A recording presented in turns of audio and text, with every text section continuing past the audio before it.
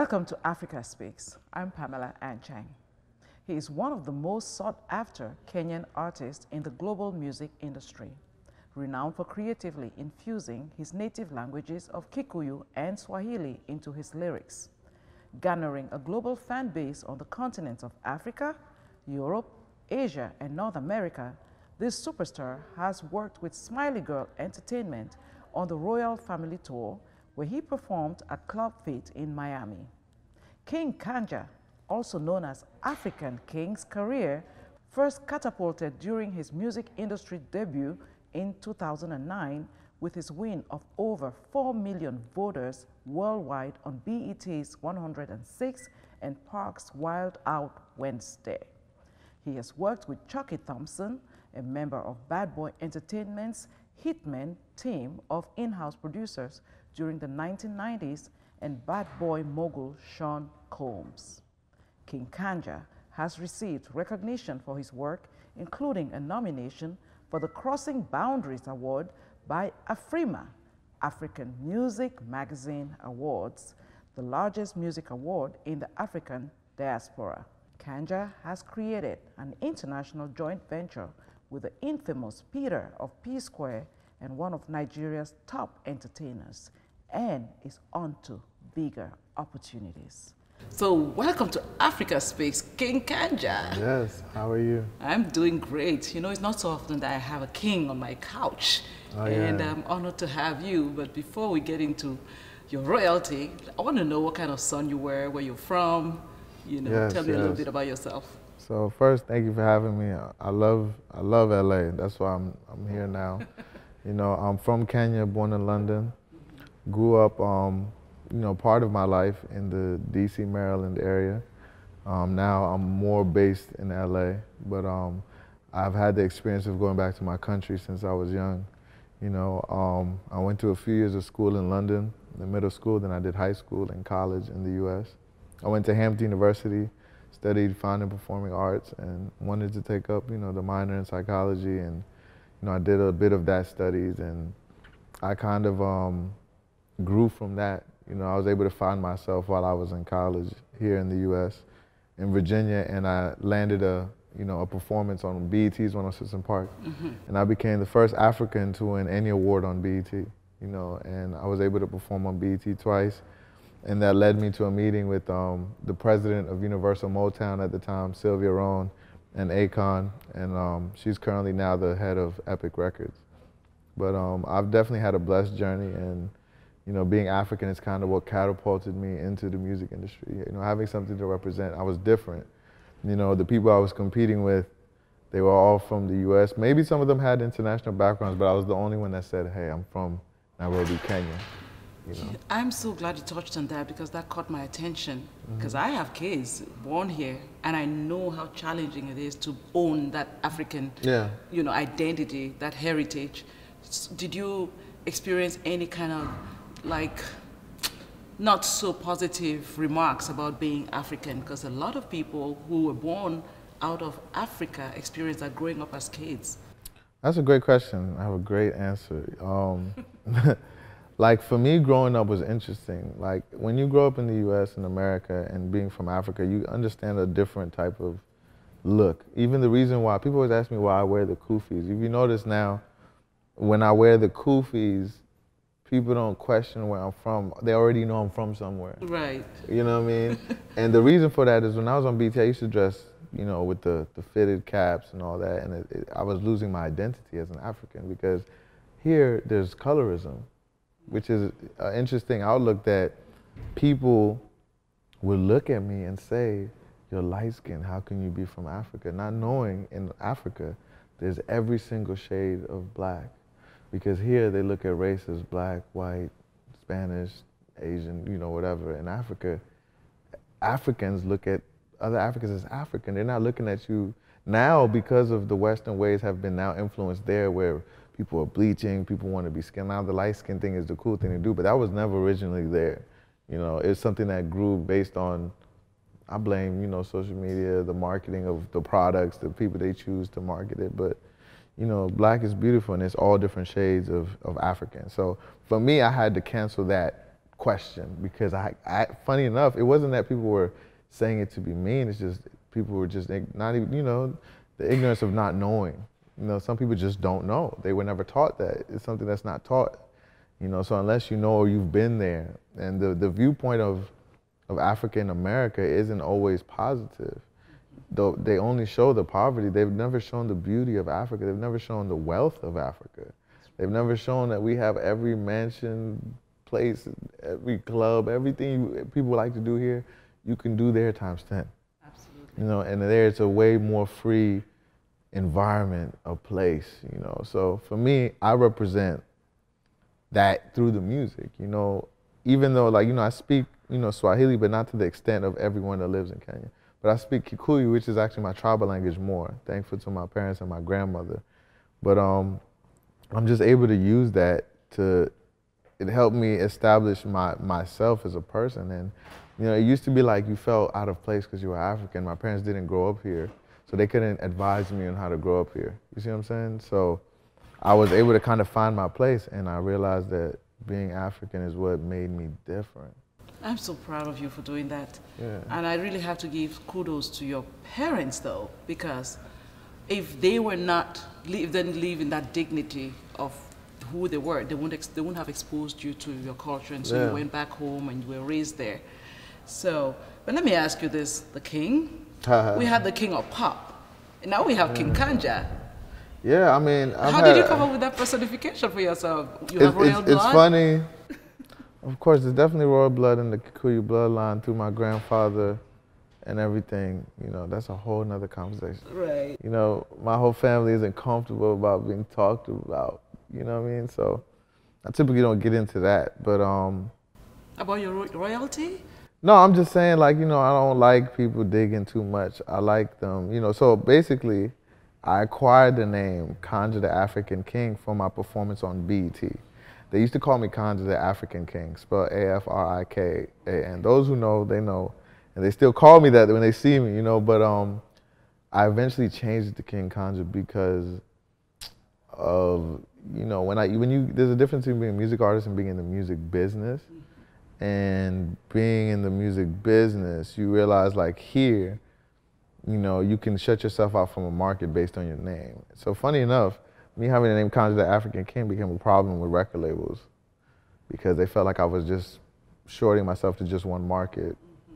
You know, so King Kanja is more the transition of that. But yeah, I mean, truthfully, everybody's from the royal bloodline. You know, my bloodline is Bantu. You know, so it's a it's a lot of depth. You know. I love the, you know, there are many, lots of Africans who have no clue about their heritage, their tribal Yeah. lines, their bloodlines. And you were born in the UK Mm-hmm. and you have this awareness. I am so enamored by that. So was music always your dream? Did you always want to do music? Actually, basketball was my first love. I was very talented early on in high school. I played soccer. I was really good at soccer, but I just didn't have the passion for it.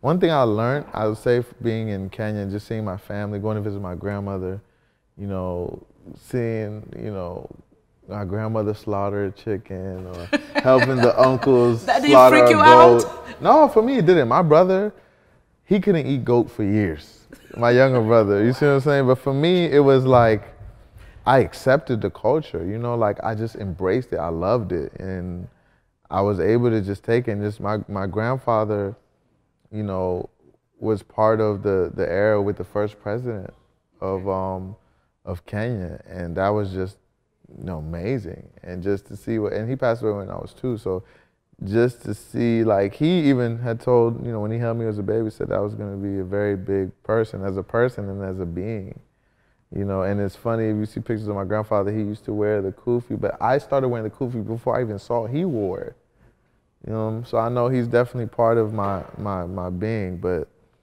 you know it's just the influence of that is what's influenced my music. And it's even reggae you know, growing up listening to reggae through my family, and it, reggae is loved in Kenya, funny enough, more than our own music. And that's kind of how I've now finished the whole reggae album with, with Gilly at Train Line Records in Miami. And he's done stuff with every Jamaican artist you can imagine.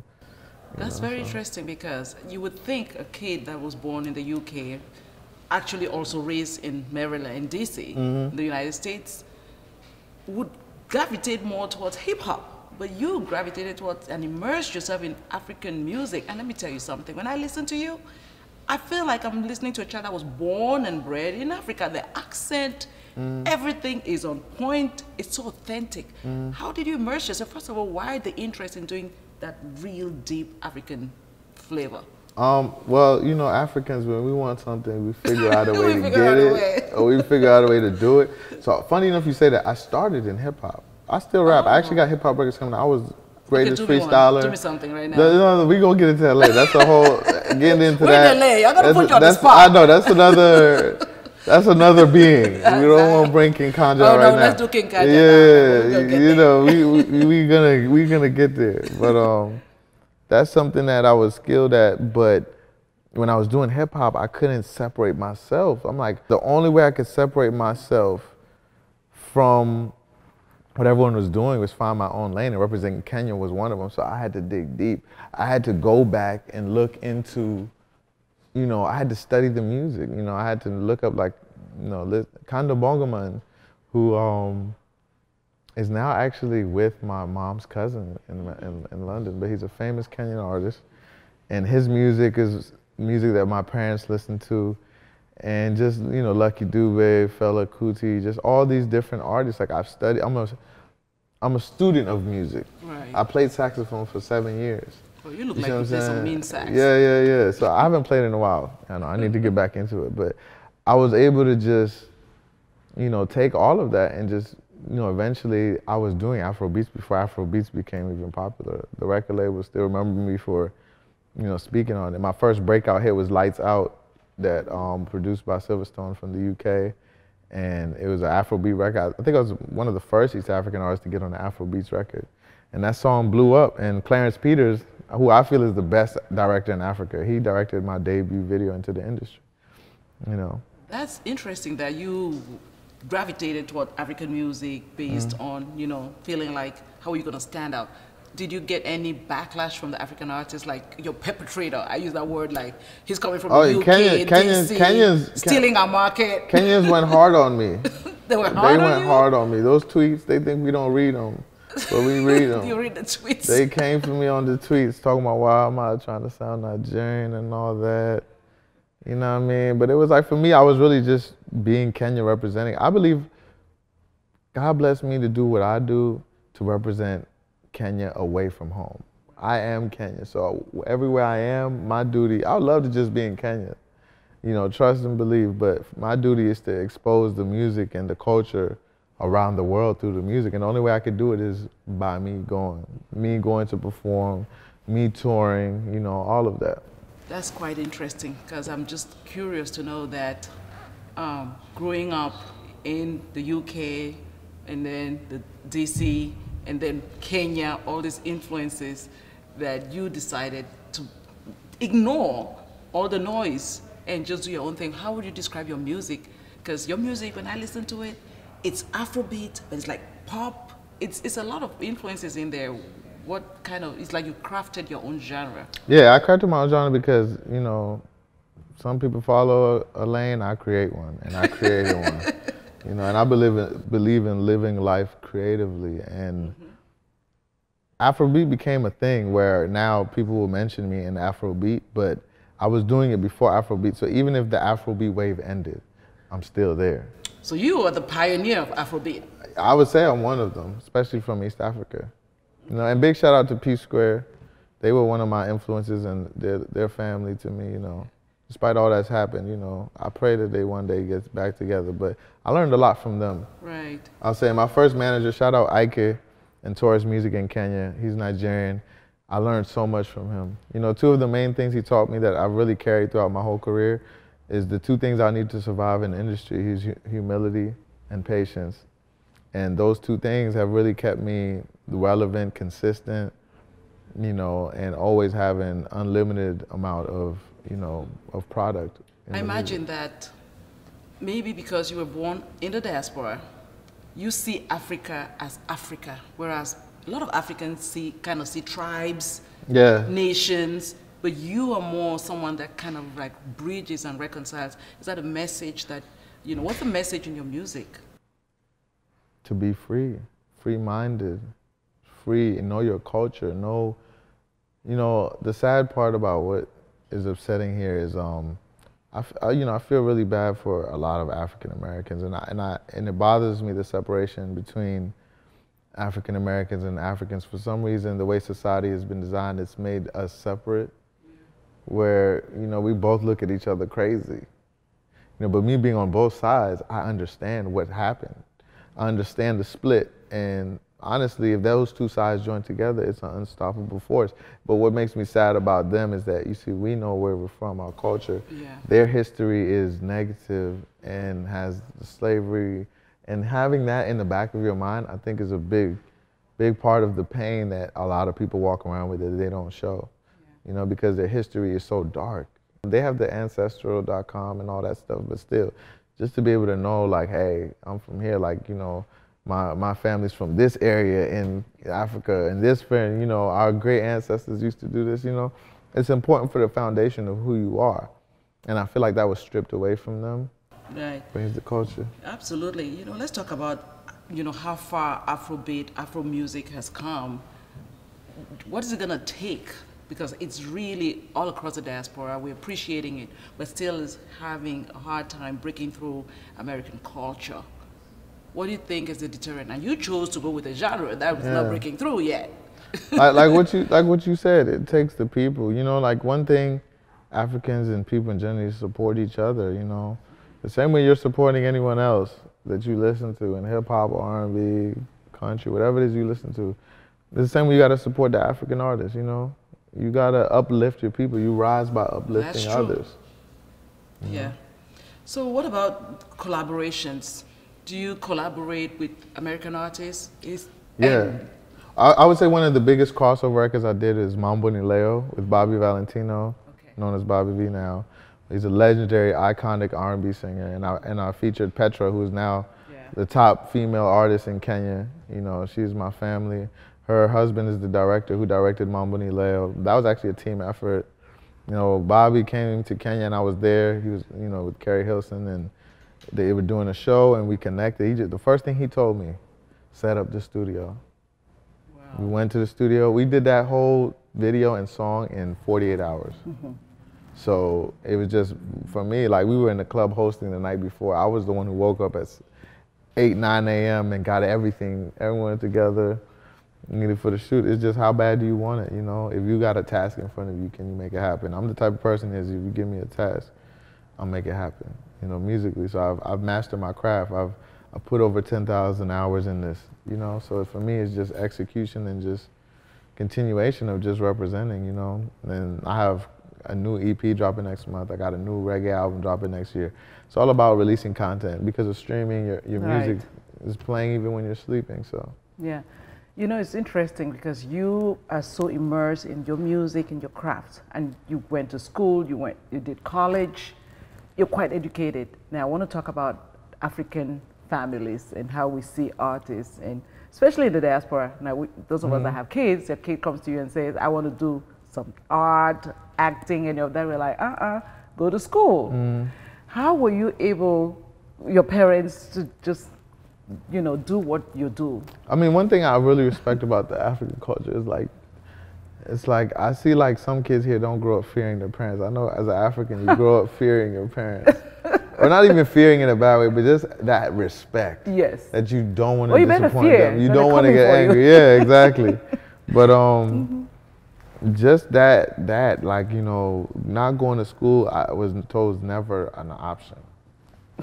you see what I'm saying? Right. But honestly, I, I, at one point I wanted to not go to college because I wanted to just go straight into music, but I'm thankful that my parents were on me about it because in college is where I ended up on BET. I would never have been on BET if I didn't go to college. Yeah, I used to go to Virginia Beach every day. Once I had ended up at NERD studio where Pharrell and Chad used to be. I met Pharrell, Chad. You know, I used to drive by Missy Elliott and Teddy Riley's house just to get the inspiration of mm-hmm. how to become a musical great. Right. You see what I'm saying? You have to surround yourself with it to be in it, you know. So what do you tell parents especially black parents, of course, African parents especially, about if a child has that interest in music. Because you did everything that you're supposed to do, and you're successful. Mm-hmm. So, what do you tell parents that have kids that want to do all of these artistic things and, you know, they're, they're scared? I mean, it's a new era, you know, but like I think my parents would would tell me like, you know, finish college, you can do what you want, you know. But honestly, the good thing about college is sometimes it's not always about what you're learning. Right. It's about the experience, like being getting to class on time. Little things end up being things you value in life later, you know, like having projects to finish, working with other people Right. on projects, you know, being able to be in a society just of people your age group and just mm-hmm. being able to, you know, communicate, know people, the whole life, dating, everything in mm-hmm. one, and you're able to grow from that. And I think that's a great launching pad into adulthood that sometimes you don't experience if you just went to high school, you know. So the experience of connecting with people and, and teachers and getting that, you know, there's some of the teachers that give you some great knowledge and some great insight on life. And, um, you know, my professor ended up being at one point managing a lot of stuff that I'm doing, you know, Professor Earl at Hampton University. She was my mentor, and now she's like a big sister, business partner. Mm-hmm. You know, so you never know who you're gonna end up working with. It could be somebody who taught you in, in class, but I was just one person who I'm a very quick learner. Like I learn from people who do, you know, great things, and they influence me a lot. You know, I, am the one if, if I see somebody who's doing something great, I can pick up on it and do it great too. That's true. So, branding, as we know, plays a big part. Mm-hmm. And true, when I saw your persona, I, I was like, oh, is he Muslim? Do you get that?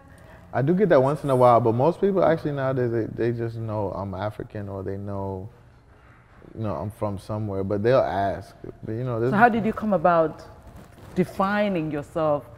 What did you call it? Kufi. No, the Kufi. Is that a is that a Swahili word? No, it's I, I don't know it for being a Swahili word if I'm gonna be honest, but um, it, it's it's known for the hats, you know, because Right. it's you know, it's not a religious view, it's a cultural view. It's a cultural view. For me, it's a, it represents Africa. Like I could be wearing anything American, whatever, And but as long want- as you see the hat, you know what time it is. You know, so So, what are your tips on branding? How to brand yourself? you have to stuff? find something that everyone remembers you for. Everybody remembers me for this chain and my hats. Okay. If I don't wear my hats or my chains, people wouldn't probably wouldn't recognize me. But it's something that people are like, yo, that's Mm-hmm. King Kanja thing. Yes. So tell me about your music. When I listen to your music, it's a lot about love and, you know, and um, relationships. Is that what? Yeah. You, is there a message in there? What are you trying to say? Um, I mean, I just try to portray a different kind of love. You know, Right. African love is different. As, as any woman who's not from Africa who's dated an African, I'll tell you that love is different. You know, I saw there was a girl in the studio the other day who was talking about how, man, I used to date a Kenyan guy once, and that love was real. You know, Really? There's certain people. I'm just speaking for what I know myself. Not to say other Africans they got the love too. You know, but Right. for me, I just know like you know it's it's part of from where you're from. The way you love is kind of where you're from. Mm-hmm. Because there's some dry love, but there's that love that's painful. Yeah. You know, like even if you broke up, it'll take like a week to recover. You know, you'll be drowning yourself in something. you know, but um, I try to just speak my perspectives of love because, of course, being being an artist, I meet a lot of women. I've been in relationships, out of relationships, and it's kind of like, what is the the goal of everything? You know, Mm-hmm. to find that love, and should that love be where you're from? And Mm-hmm. I know in Africa it's a different kind of love, and in America it's a different kind of What love. kind of so- love is in Africa? What's your experience with African love in be, Africa? it could be very helpful, very painful. I've experienced both. You know, you know, I've had my heart broken a couple times because it's like, but the falling in love part is always there in, in Africa to me. yeah. You know, and all my American friends who come out there, they're always like, they fall in love first day. You know, Who falls in love first the- day? my American friends who come to Kenya for the first time. Uh-huh. know. I mean, but you know, not to say there's love all over the world. This is just me talking about Africa love. I'm African, so I gotta love. represent the Africa love. But you know, I try to just speak my experiences in music. Right. Everything I talk about is real. oh, really? It's not nothing. Some stories may be influenced from other people's stories I heard, but nine out of ten times, it's mostly my personal experience. But depending on who I'm with at the time, I may not say that. So Okay. you know, so I love the song The Wave. What are you waving with? What was that? Yeah, shout out you Samklef. a personal story. Sam yeah. Clef from Nigeria produced that. He's now based in the U.S. Uh-huh. and we got connected through some people. He produced Wizkid's first album, so he's one of the pioneers of Afrobeat. You know, a lot of people followed his pattern on production. Mm-hmm. Shout out Samklef. He produced Wave. He produced Honey for me. He produced two songs on my second EP, um, Far Away, Yo Daddy. That dude is a whole vibe. You know, mm-hmm. kudos to him. You know, he just did um, four songs on Akon's new album, Akonda. Right.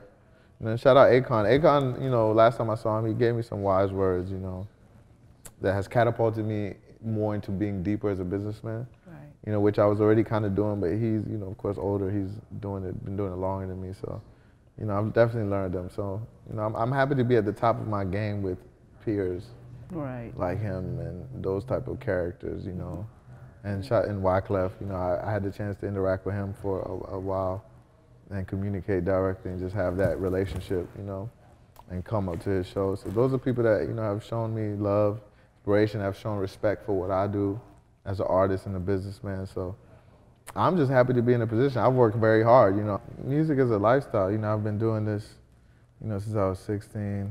I'm 32 now. I could say I'm at the prime of my writing, mm-hmm. artistic creation. Every angle of what I'm doing now is at the top of my game, and it's you know it's a blessing. Like you get out what you put in.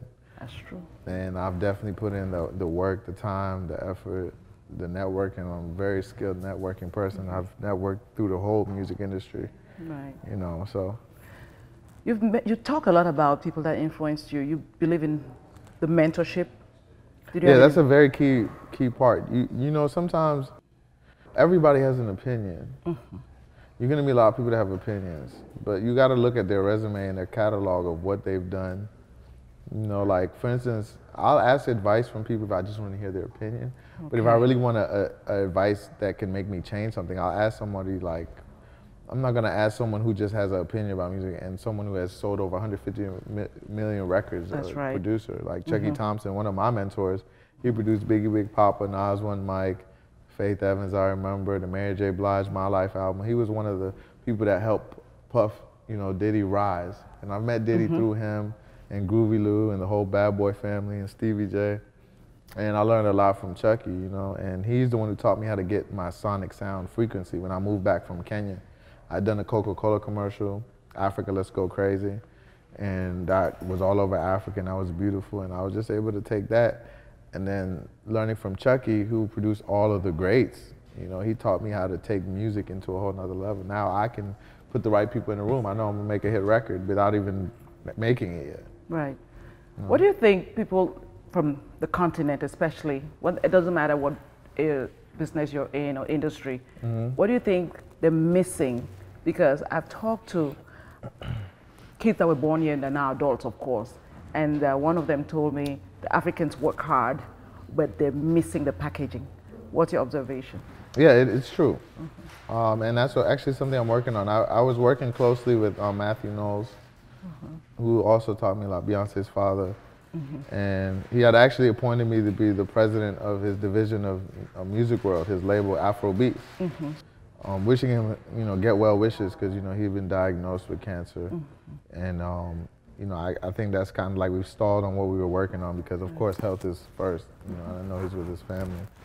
But um, I learned from him, and what I wanted to do is, you know, what's missing is the knowledge and the mentorship like I've experienced, I want to bring that to now do seminars in Africa about the music industry, which is something, and bring all these great people I know. Like one of my mentors here in LA, Leila Steinberg, mm-hmm. she discovered Tupac Shakur. Okay. She had come to my college and I had won a competition. She brought me out here, introduced me to Tupac peoples and her mic sessions, and, and that's just a beautiful thing.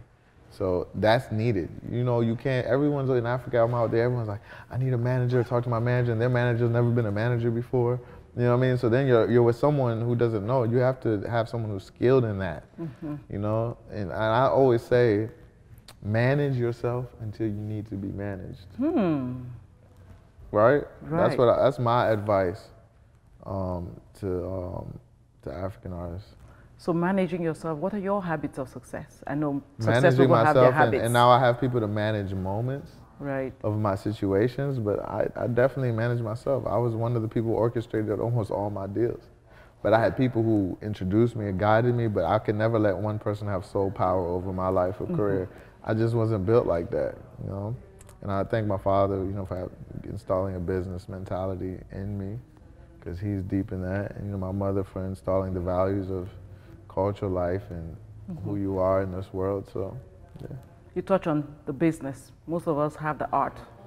Yeah. How do we get to the business? It is. A, that's the difference between the music and the music business. The music business is a whole other world.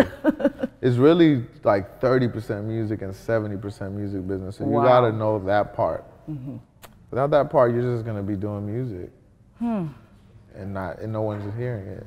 So how does someone break into the business? How do you get that jumpstart? Well, if they hot, come to me, King Kanja Empire. You know, I have my own record label. okay.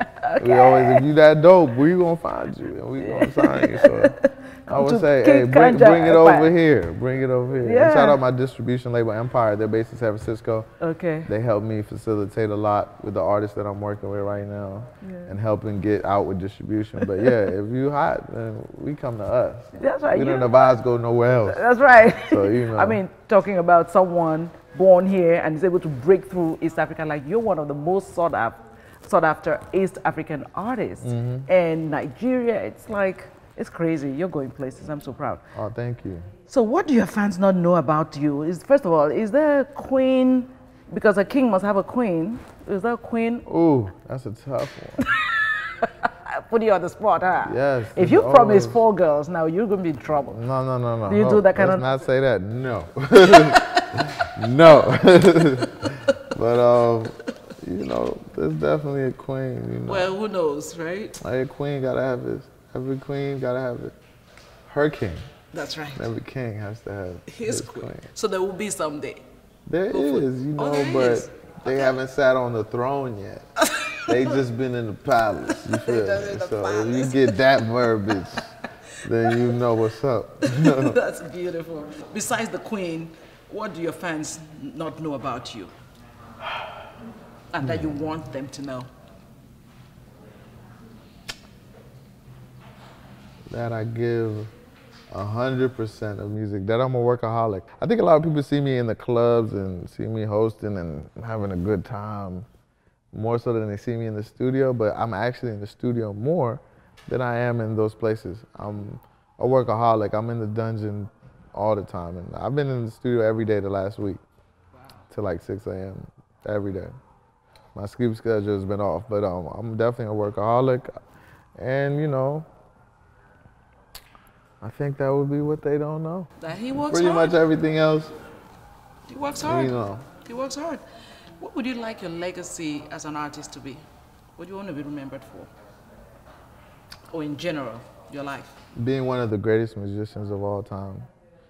This reggae album, I hope, will put me in that conversation. But to be the most legendary, like I received the Icon Award from the ambassador of my country, Ambassador Robinson, you know, at the Jamhuri Day, you know, Kenyan Independence Day in DC, and you know, to be viewed as an icon for my country. Like I've represented and pushed music boundaries from Kenya in places no one's ever pushed from my country. So for me, it's just making that history and just, you know, I have a lot of kids and fans of mine in Kenya, and I hear from people who they say they have my articles hung up and stuff like that because they see that you know, I feel like here there's this American dream where if you work hard, you can really get and become anything you want. I don't believe like the same opportunities are provided in Africa. So for me, I am that inspiration for those kids that don't believe you can make it out of there. Right. That you can be, even from there, you can be anything. So it's like, God, I think God chose me for that reason to show, to take it from there out, out of there and spread it to the world. And that lives forever. That's amazing. Now, you know, as someone that was born out of, you know, Africa, you're born here and you embrace that culture so well. And there are lots of, we live in a time now where Africa is kind of like popular, not popular, depending on who's talking about Africa.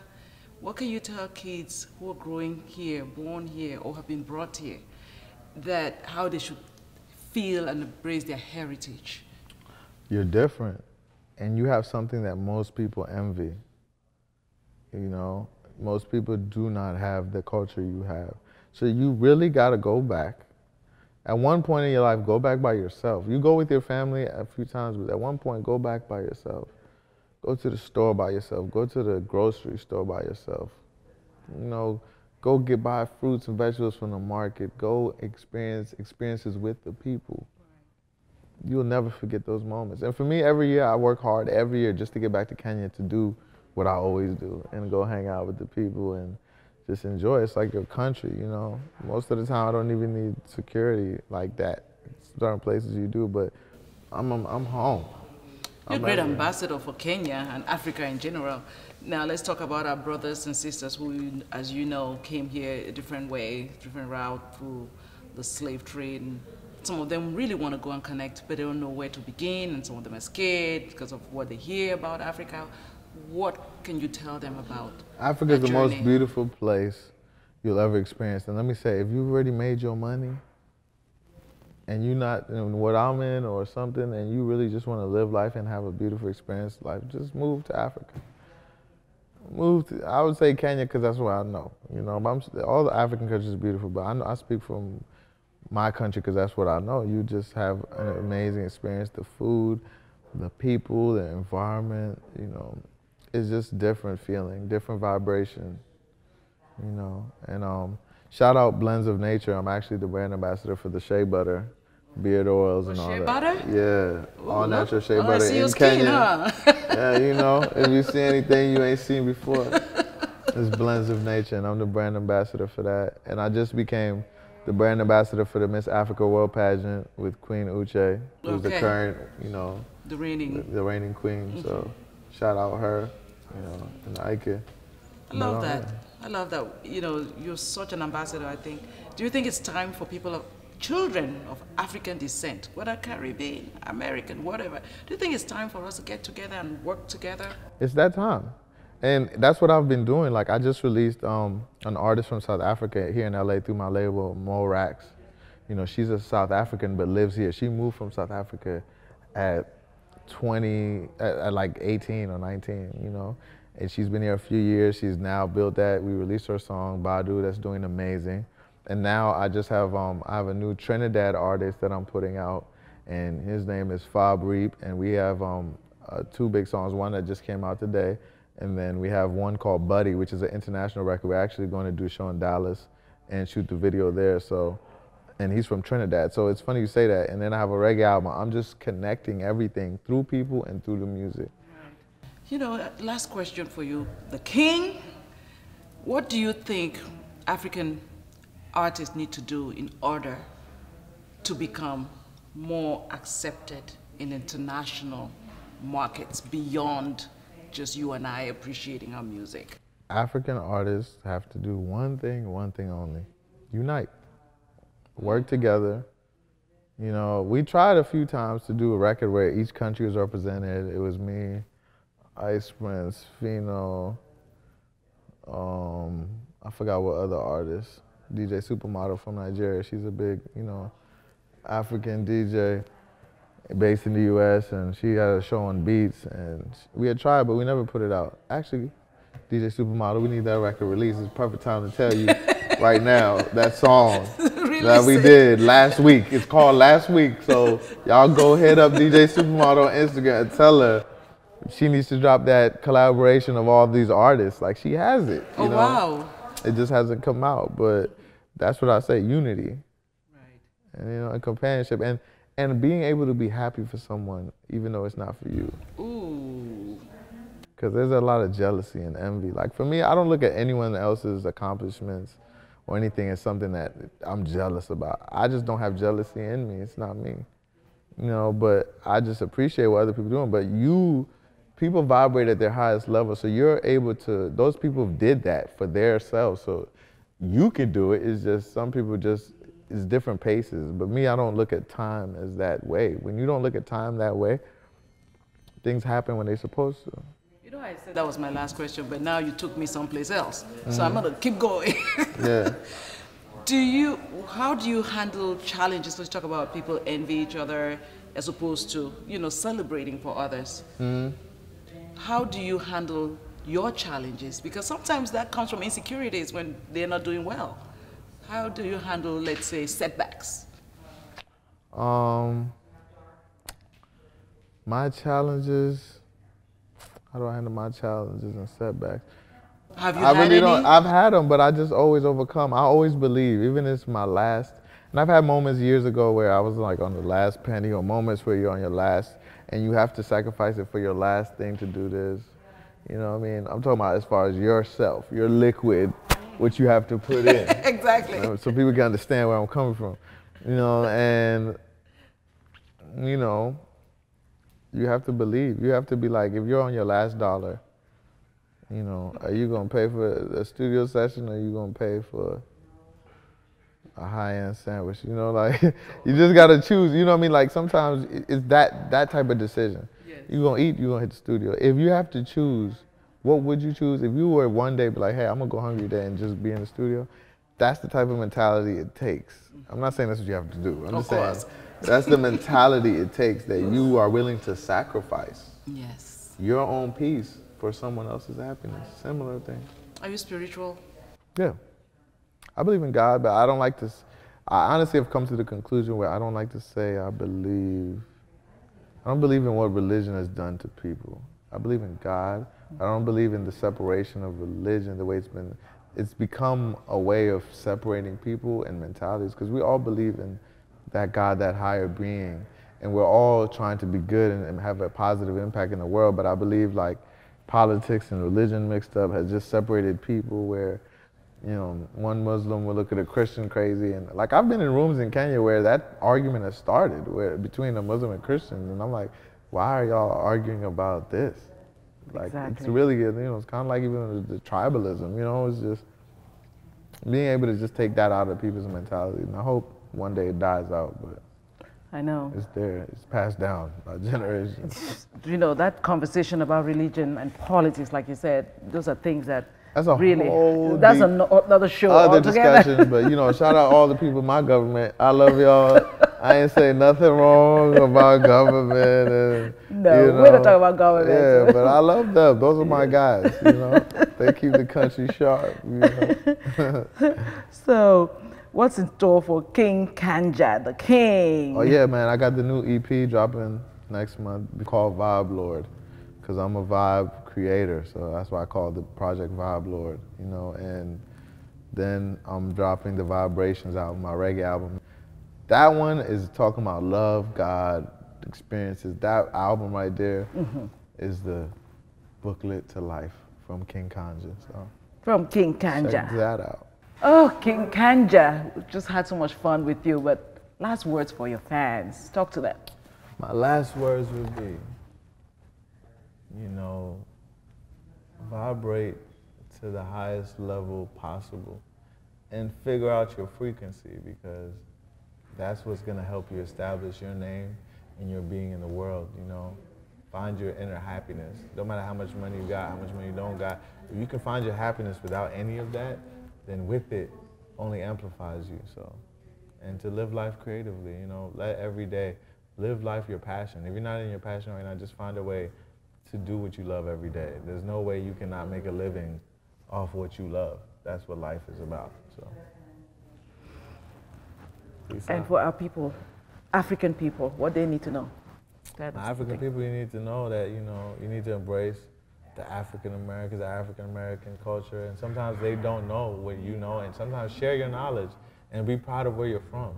When you're somewhere else, you're representing your country and everything you do. You represent yourself well everywhere you go. So just continue and, and spread and, and let your kids, they don't only have to be doctors, lawyers, bankers, you know, let them be, you know, make sure they get their education. I ain't go, I don't disagree with that part, but let them be free to explore their talents and support them. You know, that's the thing that, you know, unless it's something like that, I notice a lot of African parents don't know how to support their children hmm. when they're creatives. Right. So just even just saying you like something or or you know means a lot to you know those those kids you know because they they want to feel that they have that support you know because you know you go somewhere and the, the American parents be there with posters and the, you know what I mean like, And African parents will be like- ah they're like ah you know like, you know. Are you calling us out? No, I'm just playing. I'm just playing. I'm just well, that's true though. Just, but I mean, I'm just saying, just show support for your kids because they're getting an experience you may not have gotten, but they need to know that you support them, and it's okay to do other things.